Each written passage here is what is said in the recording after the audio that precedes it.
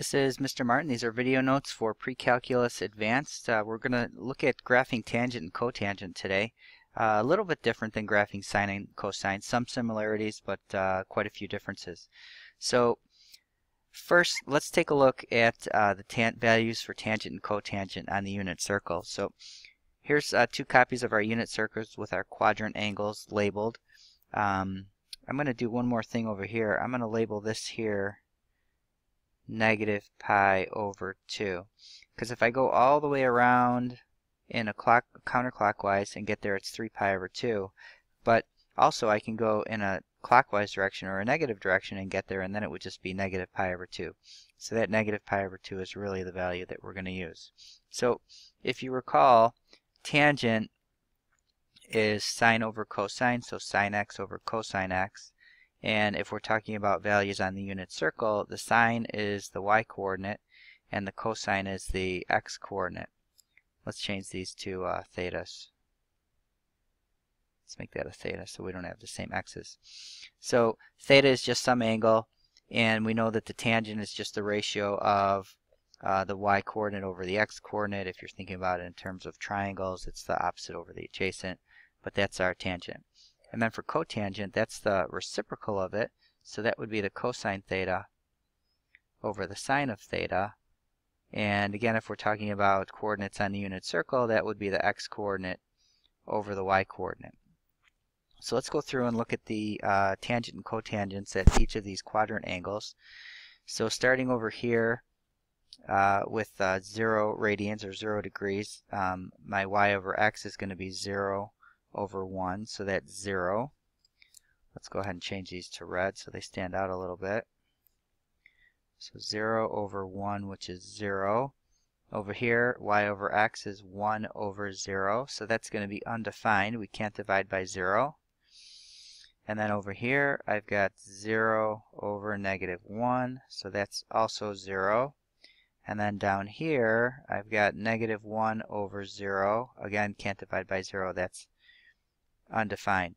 So notice up here at pi over 2 and down here at negative pi over 2, okay, pi over 2, negative pi over 2. Again, we're not going to use that 3 pi over 2, although you could, but uh, I prefer to use the negative pi over 2. These are the values that it's undefined, and this is going to be important for us, so keep that in mind. Now moving over to cotangent, that's x over y. So this is going to be 1 over 0, x over y. So that's going to be undefined. And then up at the top here, it's going to be x over y. So that's 0 over 1. So that's going to be 0. Here we're going to have negative 1 over 0. So again, dividing by 0, that's undefined.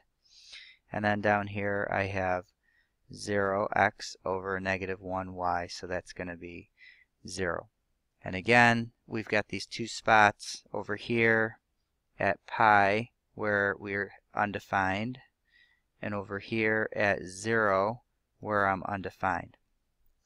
So we can see that tangent and cotangent are undefined in um, kind of the opposite places. So we've got pi over 2 and negative pi for tangent and then the other two spots, the other two quadrant angles, uh, 0 and pi for cotangent.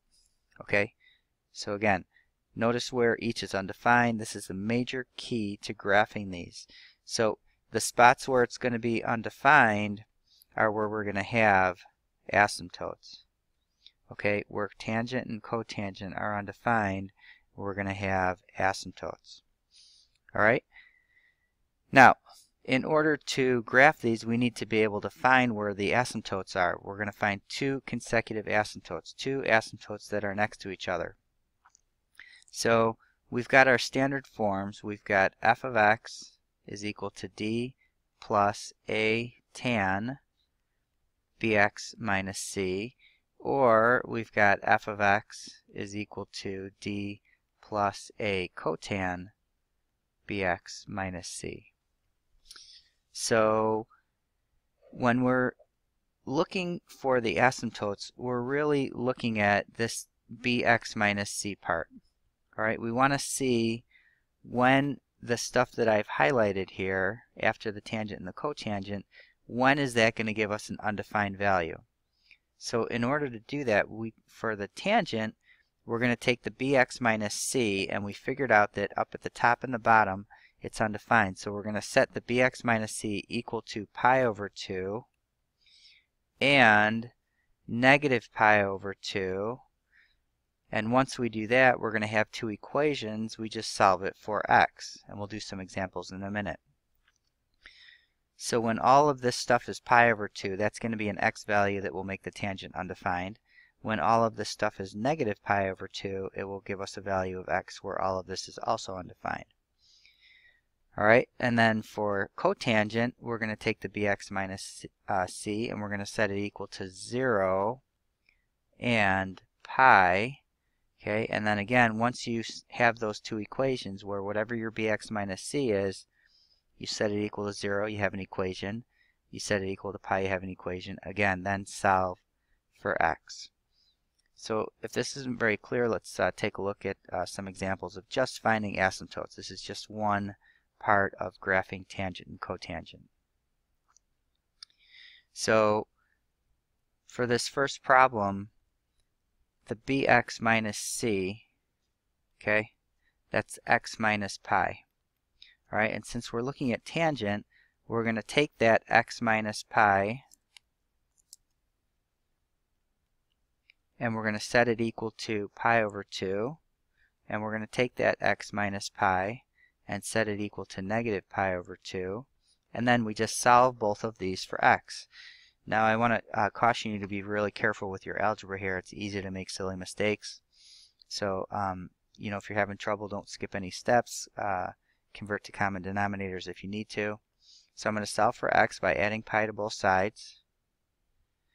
So this is really 2 pi over 2. So I have a common denominator. Those go away.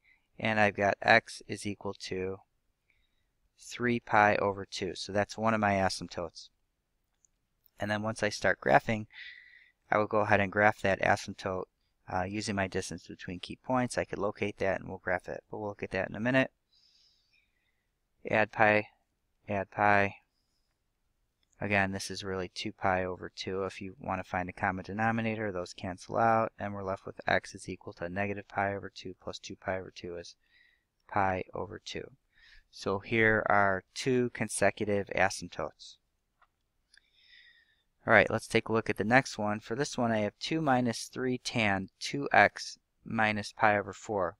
So for this, my bx minus c is equal to 2x minus pi over 4. And I'm going to take this and I'm going to set it equal to pi over 2 because it's a tangent. And I'm going to set it equal to negative pi over 2 and solve both of those. So I have 2x minus pi over 4 is equal to pi over 2. And to get another asymptote that's next to this one, I'm going to take 2x minus pi over 4 and set it equal to negative pi over 2. So I'll add pi over 4 to both sides. Let's see, this would be uh, 2 pi over 4 if you need a common denominator to help you. So we have 2x equals uh, 3 pi over 4. I'll divide both sides by 2 and I get x is equal to 3 pi over 8. So there's one asymptote. Once I solve this one, I'll have another asymptote that's right next to it. So add pi over 4 to both sides. I'm going to change that to negative 2 pi over 4. So I have 2x equals negative 2 pi over 4 plus 1 pi over 4 is negative pi over 4. Divide both sides by 2 and I get x is equal to negative pi over 8. Again, two consecutive asymptotes. Alright, so that's two examples for finding asymptotes for tangent. Let's move on and uh, find them for cotangent now. So again, we want to take a look and see what is our bx minus c. So bx minus c is going to be x minus pi. So now, since we're looking at cotangent, cotangent is undefined at different spots. So I've got x minus pi, and we're going to set it equal to 0, because that's one of the spots cotangent's undefined. And we're going to take x minus pi and set it equal to pi. That's the other spot on the unit circle that cotangent is undefined. So I'll solve both of these for x. add pi to both sides, so I get x is equal to pi, add pi to both sides over here, and I get x is equal to 2 pi. And again, I have two consecutive asymptotes. I'll graph these using my distance between key points, and then I can continue on, and we'll look at that again uh, in a little bit. All right, this last one, again, my bx minus c is 2x minus pi over 4. So if you notice 1 and 2 were the same as 3 and 4 except instead of uh, tangent I had cotangent and you can see it does change my asymptotes. So here I've got 2x minus pi over 4 is equal to 0 and I've got 2x minus pi over 4 is equal to pi because we've got cotangent so we want to set it equal to 0 and pi. Alright, add pi over 4 to both sides. I get 2x is equal to pi over 4. Divide both sides by 2. And I get x is equal to pi over 8. Again, add pi over 4 to both sides. I can make this 4 pi over 4 so it has a common denominator. Those cancel out. I get 2x is equal to 5 pi over 4. Then when I divide by 2, I get x is equal to 5 pi over 8. So there are the two consecutive asymptotes for my cotangent problems. Alright, again, if you had any questions uh, on how to find those, make sure you ask. If you can't do this, uh, you won't be able to graph tangent and cotangent. So now that you can find consecutive asymptotes, you're going to be ready to get graphs. So um, we're going to find A, B, C, and D. We're going to find period, phase shift, vertical shift, distance between key points. Uh, you'll find two consecutive asymptotes. Then graph the asymptotes. Okay, so once you find your asymptotes, go ahead and graph them, and then you'll go back and do your chart. So, um, did you notice anything missing from this list of things up here? Okay, if you didn't notice, the amplitude, amplitude, amplitude was missing. Since that when we look at the graphs you'll see that they go up and down forever so they really don't have an amplitude so we don't uh, calculate that. There's another key difference that we'll talk about before I end this video. Um, with sine and cosine, the period, every time when we find the period we do 2 pi divided by b. Okay, but with tangent and cotangent, it is different. Okay, the period for tangent and cotangent is just pi over b. Okay, notice just pi.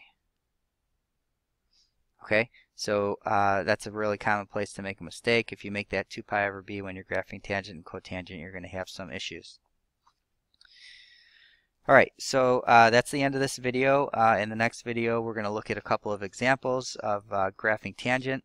If you have any questions, uh, make sure that you write those down or go ahead and pause the video and ask me if you happen to be watching in class, and we'll see you next time.